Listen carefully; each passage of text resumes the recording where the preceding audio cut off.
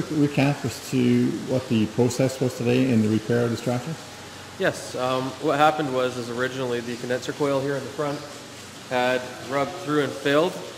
So we had to order up a new one, got that in and uh, installed.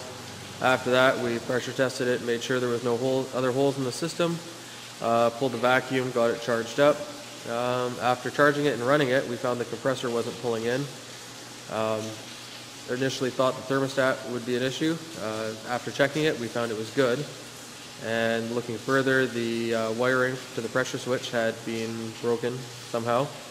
Uh, got that repaired, um, changed the fuse out that had blown, and runs fine now. Okay, so that tractor is going to go out in the field and the operator is going to be nice and cool, thanks to you. Absolutely. Thanks, Noah.